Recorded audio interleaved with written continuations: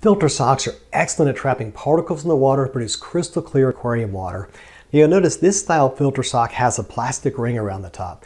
This is designed to fit into what's called a sump filter, and those sump filters fit below the aquarium in the cabinet. And how a filter sock works is water actually comes from the display tank, comes down a pipe, goes into our filter sock, water drains out the bottom of the filter sock, goes into the sump, and then is returned to the display aquarium via a water pump. Now, these filters will get clogged up and dirty over time, so we do want to remove them. And you'll notice inside here's a simple little handle that makes it easy to remove from the filter.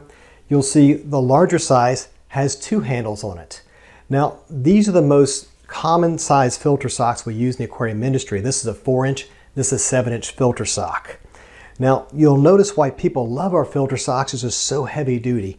We use a very thick polyester material, and you'll see the stitching is actually triple stitching. So these we want to be able to reuse many times over. Now you'll notice the stitching actually at the factory comes off the end. You don't want to cut this stitching because then it will unravel. Just leave the stitching like it is. If the stitching bothers you at all, put a couple drops of super glue on there. Now these filter socks are available in different sizes. You can go to an 8 inch, about a 10 and a half inch, and a 14 inch. On our 7 inch size, you can get an 8 inch, an 11 inch, or a 6 inch long filter sock. Now it depends on the length or the height of your sump. You want your filter sock to be maybe about a half inch into off the bottom of your, your sump, and that'll make it work optimally. Now the filter socks as I mentioned earlier, these are available in polyester. And they also available in polypropylene. Now we choose polyester because polypropylene, after it gets washed several times, it seems to pill up like a sweater does. So that's one of the reasons. The other reason is sometimes when these come from the factory, the polypropylene do, they have an oil on them and it makes the protein skimmer go crazy. And so for those reasons, all of our filter socks are made out of polyester. Now, the pore size is important, and this is what you're going to choose. Now, if you have a very tight pore, then it's going to trap more debris. And so these are available in a 100 micron and a 200 micron size. The 100 micron actually has a smaller pore size, meaning it's great, it's going to trap finer particles, but also means it's going to clog up faster than the 200 micron size. So most people typically in the hobby use a 200 micron filter sock most of the time. And then once in a while they may swap it out. They really want to polish their water and use a 100 micron filter sock. Now, these filter socks do get dirty over time, so we're going to have to change them regularly. And what's going to happen is the, the, the, organics and debris will trap inside of the filter material and the water will physically raise up. You'll tell when the filter socks are getting dirty. If you don't change the filter socks, literally the water will pour out of the top of the filter sock back into the sump. You don't want to wait that long. Your purpose is there's a lot of organics building up in there, and organics can break down into nutrients like phosphates and nitrates. So the more often we change these filter socks, the higher our water quality is going to be. So we want to remove these and change them. Now, most people typically change about once a week. Some of the reef hobbyists will change them every day or every couple of days. Now, as far as changing these filter socks go, we're going to reach in there, we're going to pull it out of our sump, we're going to go to find our bucket, and we're actually going to dump this against the bucket and see what falls out.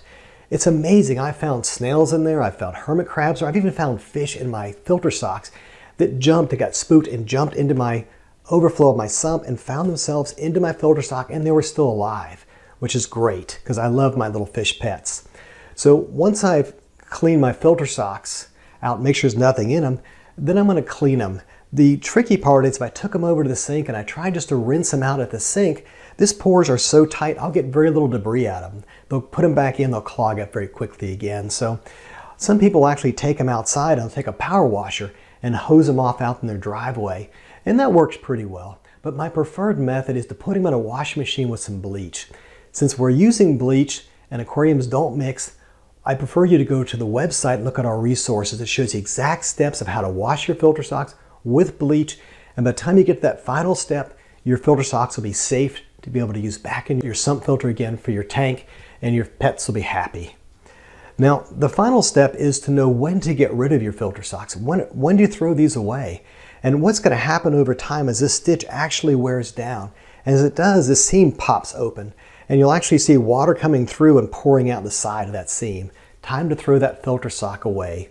The other thing that's going to happen over time as we're washing these, the material actually will start to thin down. It'll actually get very, very thin here and we know it's time to change the filter sock. If we don't, it'll actually wear a hole through there. So change them and replace them. Now, when I clean my filter socks, I like to clean them in a group because when I take them out, if I only have one filter sock to clean the washing machine, it's not very many.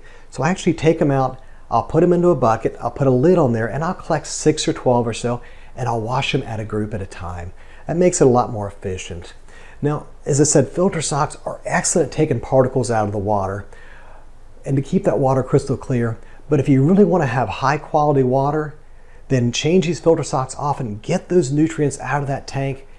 Thank you very much for watching this video. If you like what we talk about, please subscribe. Thank you very much for watching.